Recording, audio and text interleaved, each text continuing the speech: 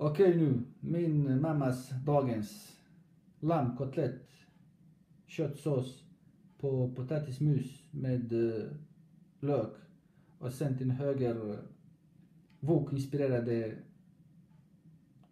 grönsaker fast inte så knapriga. det är ingen kaninmat. Ovo je znači janjetina, sos neki mesni sa pireom od krompira i vam ova donekle hrskava, zelen i tako dalje. Alright, meat, potato and some green stuff. That's all you need to know.